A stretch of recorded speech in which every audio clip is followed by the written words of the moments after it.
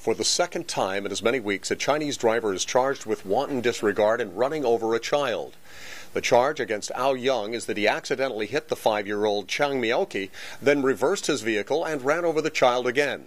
In China, motorists are required to pay hospital bills if they are at fault in an accident.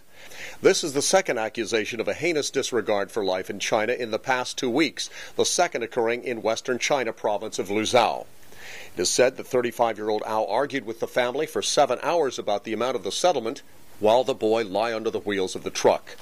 Last week's accident involved a two year old girl who was struck by a vehicle and whose driver did not stop and then was run over a second time, all while some 18 passersby ignored the incident. Two year old Yu Yu was pronounced dead and died last week as the result of her injuries.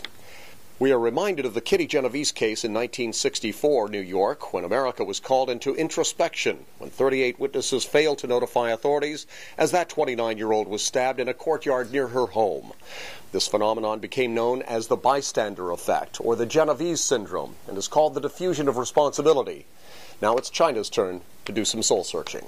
From the Christian Post newsroom, I'm George J. Wienbarg.